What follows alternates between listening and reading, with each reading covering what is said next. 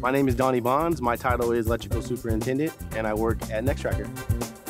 When I was first working as an electrician, I would always hear, you know, solar is the future. And I've been working in solar, and solar is now for me. I like working at Nextracker because we get to work on new products. We get to take apart old products. Our input is sought after. People actually take the time to really listen to what we have to say about making the system better. This is my playground. This is where I get to come every day and take things apart, put things together. Behind me, we got our Horizon and we got our Gemini. Horizon was our first product, Gemini is our second product. Feedback from our customers is direct. I get phone calls, I get emails, I get text messages from directly from our customers. So we're right here in the field working directly with the products. We know about the new products coming out, and we're actually able to give feedback on how to make their installations better, faster, easier for their installers in the field, and more affordable.